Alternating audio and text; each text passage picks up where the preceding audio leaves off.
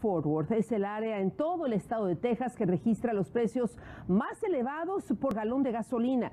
El promedio actual es de 4 dólares con 40 centavos.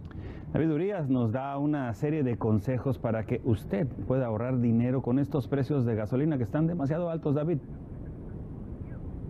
Buenas noches, solo basta con salir a una estación de gasolina cualquiera y darse cuenta de los precios. Por ejemplo, en esta 4 dólares con 49 centavos es el precio promedio acá en el centro de Dallas. Por supuesto, es importante tomar una serie de recomendaciones que damos a continuación. Una situación que sin duda alguna está afectando a muchos conductores porque inevitablemente tienen que llenar el tanque de su combustible para ir a sus trabajos. Y esta situación los pone entre la espada y la pared porque tienen que recortar gastos de otro tipo. AAA confirmó a Univisión 23 que en nuestra región es donde pagamos más gasolina en todo el estado. Dallas y Fort Worth es en donde eh, pagan más los conductores por la gasolina, 4 dólares con 40 centavos. Hablemos ahora de soluciones una aplicación donde puedo conseguir algo más económico, esos centavitos te pueden ahorrar. También planificar quizás este feriado, quedarse localmente.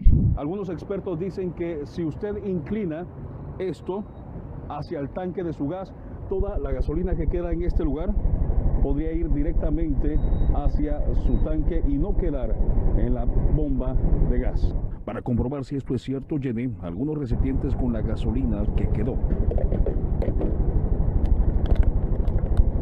Aquí el resultado del experimento, como podemos ver, uno, dos y la mitad de una botella. Esto es lo que se ha llenado de gasolina y es el remanente que quedó después de que mi auto básicamente se llenó por completo. Esta gasolina hubiese quedado ahí en la bomba si no inclino para poder echarla. Es decir, que usted tiene esta opción para poder de alguna forma quedarse con esta gasolina que usted ha comprado y que de otra forma queda allí lo único que tiene que hacer primero es dejar abierta la bomba después de llenar su tanque.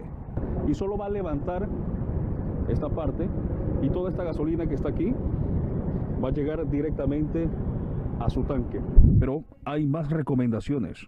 Que traten de respetar los límites de velocidad a la hora de estar manejando en las carreteras, que eh, traten de evitar arrancar y también frenar de manera abrupta. Y si van a llevar esas maletas pesadas, que las metan a la cajuela y no en el techo, porque si las amarran en el techo, el auto se, se hace más pesado y entre más pesado, más gasolina va a estar eh, consumiendo el vehículo, más de lo necesario.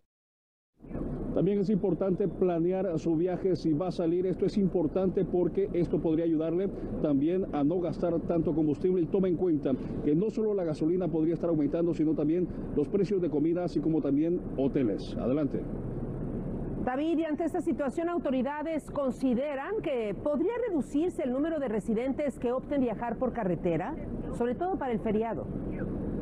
Bueno, curiosamente AAA me dice que lejos de lo que podríamos esperar ante los altos precios de los combustibles, se espera que más personas salgan para este tiempo de vacación y se espera 3.2 millones de tejanos viajando por carretera para esta época feriada. Este es mi informe en vivo. Desde Dallas, David Urias, Noticias Univisión 23.